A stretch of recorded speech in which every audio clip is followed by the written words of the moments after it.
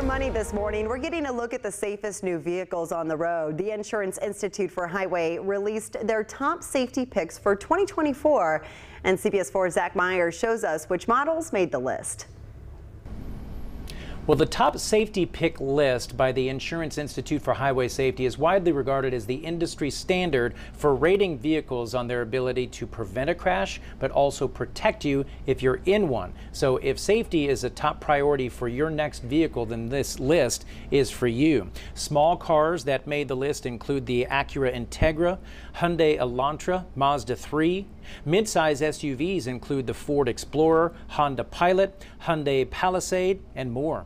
If you're looking for a large SUV, three Audis made that list, including the Q7, Q8, and the Q8 Sportback. And the list goes on. This year's top safety picks included tougher requirements for protecting passengers in the rear seat behind the driver, and that testing involved simulating front end crashes, like a driver crossing the center line.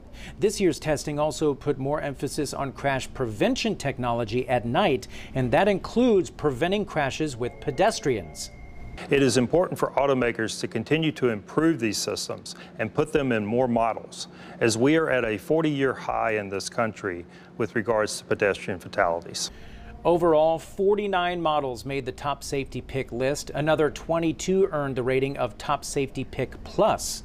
Across the board, midsize SUVs made up one of the uh, most of the winners.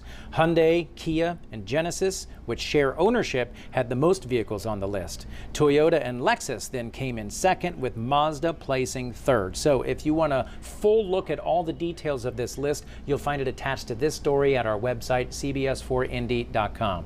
For CBS 4 News, I'm Zach Myers.